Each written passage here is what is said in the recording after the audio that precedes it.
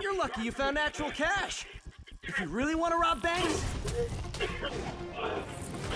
try day trading. It's all the rage. Oh, wait, wait, wait, wait, wait! Oh, no! Oh, come on, Herman! If you tell me who you're working for, I can help you cut a deal. If I talk, I'm dead! They made that!